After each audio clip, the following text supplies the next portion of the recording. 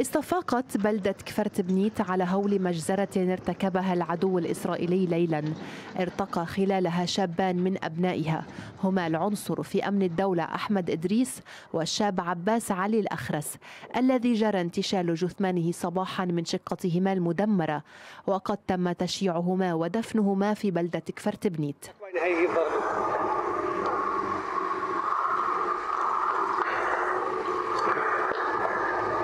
الغارات دمرت حيا سكنيا وتجاريا تدميرا هائلا وكاملا.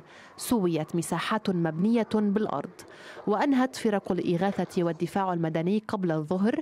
رفع الأنقاض من عدد من المباني والمحال التجارية الكائنة عند المدخل الجنوبي لكفر تبنيت. وطال القصف الإسرائيلي مدرسة اسماعي في صور واستهدف الطيران المعادي مركزا تطوعيا للدفاع المدني في الهيئة الصحية الإسلامية في وادي جيلو مما أدى إلى استشهاد مسعفين وإصابة عدد آخر. كما طالت غارة من مسيرة بلدة عدلون حي المشاع وغارة أخرى نفذها الطيران الحربي على بلدة حبوش جنوب لبنان. واستهدفت غارات إسرائيلية واستهدفت غارات إسرائيلية بلدات عرب صليم tid.